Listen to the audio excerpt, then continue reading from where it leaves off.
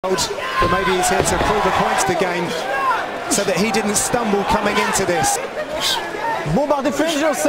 A warning from the referee for Bush to defend himself and keep moving. Fight pushing for the finish in the final seconds here, John.